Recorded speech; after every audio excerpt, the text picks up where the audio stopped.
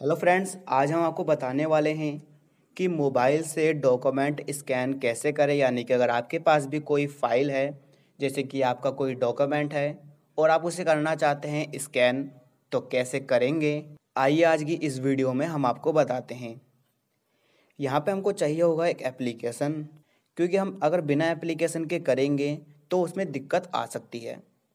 तो play store में जाइए, जहाँ से आप एप्लीकेशन या गेम डाउनलोड करते हो और यहाँ पे आपको सर्च करना है अडोब स्कैन इसे ध्यान से देखिए सर्च करिए। इसको ही इंस्टॉल करिएगा। कोई और सा इंस्टॉल मत कर लीजिएगा गलती से। ये सबसे अच्छा है और सबसे सेफ़ और इजी है। तो हम इसको ही इंस्टॉल करते हैं। फिर आप इसे यहाँ से ओपन कर लीजिए। ओपन करने के बाद आपके पास ऐसा पेज आ जाएगा। यहाँ पे आपको साइन इन विद गूगल पे टच करना है।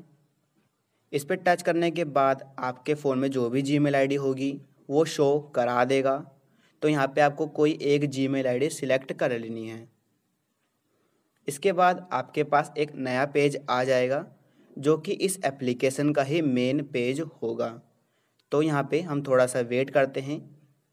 कंटिन्यू वाले ऑप्शन पे टच करिएगा। कंटिन्यू वाले ऑप्शन पे टच करने के बाद यहाँ पर ये ऑप्शन आ जाएगा लेट्स गो पे टच करें, आपका कैमरा चालू हो जाएगा। अलाउ करने को कहता है तो अलाउ करें और यहाँ पे आपका जो डॉक्यूमेंट है, उसे आपको स्कैन करना है। तो एग्ज़ाम्पल के लिए मेरे पास यहाँ पे एक बुक है, मैं उसको स्कैन करूँगा। तो मेरे फ़ोन का कैमरा क्लियर नहीं है तो उसे थोड़ा इग्नोर करिएगा। तो मैं इस पेज को स्कैन करूँगा। तो हमने फ़ोटो क्लिक कर ली है यहाँ पे, ये वाली। तो यहाँ पे मैं ज़्यादा फ़ोटोज़ ले लेता हूँ। इस पर हम टच करते हैं अलाउ करते हैं। तो मैं इसे करता हूँ, यहाँ पे फ़ोटो क्लिक करता हूँ इसको। यहाँ पे आ चुकी है। कीप स्कैनिंग पे टच करें। एक फ़ोटो हमारी हो चुकी है नीचे की तरफ़। दूसरा पेज कर लेते हैं हम यहाँ पे। आप जितने मर्ज़ी पेज कर सकते हैं यहाँ पे। तो ये हो चुका है। दो पेज हमने यहाँ पे लिए हैं। एडजस्ट कर लीजिए आप यहीं से सिलेक्ट स्कैनिंग पे टच करें।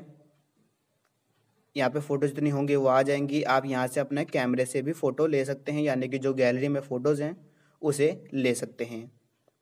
इस पर टिक मार्क करिए, यानी टच करिए। जो भी फ़ोटोज़ होंगी यहाँ पे दिखा देगा। यहाँ पे आपको मिलेगा ऑर्डर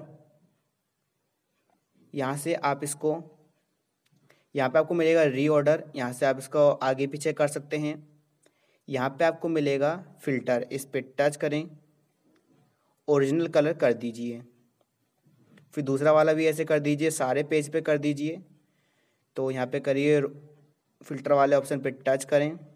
इस वाले ऑप्शन को चालू करके एक बार करेंगे तो सारा हो जाएगा, सारे पेजों पे ये अप्लाई हो जाएगा। यहाँ से आप इसे रोटेट कर सकते हैं, यहाँ से क्रॉप कर सकते हैं, यहाँ से नाम डालिए इसका। सेव पीडीएफ पे टच करें। सेव पीडीएफ पे टच करने के बाद आपका जो पीडीएफ है वो क्रिएट होने लग जाएगा, यानी डॉक्यूमेंट क्रिएट होने लग जाएगा। ये हो चुका है। अब यहाँ पे आपको इधर की तरफ़ अगर आप इसे जेपीजी में सेव करना चाहते हैं तो जेपीजी में सेव करिए। यहाँ पे आपको मिलेगा मोर ऑप्शन इस पर टच करें।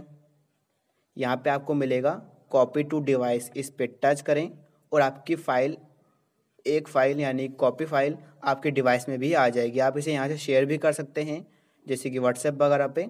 तो मैं शेयर करता हूँ व्हाट्सएप पे। ये रहा व्हाट्सएप मैं इसे ओपन करता हूँ और व्हाट्सएप पे सिलेक्ट करके अपने दोस्त को सेंड कर देता हूँ एक कॉपी एग्जांपल के लिए। तो ये रहा मेरा दोस्त का फोल्डर इसे ओपन करता हूँ मैं। और सेंड कर देता हूँ। तो ये हो चुका है। ऐसे आप इसको इस्तेमाल करें, वीडियो पसंद आए, वीडियो को लाइक करें।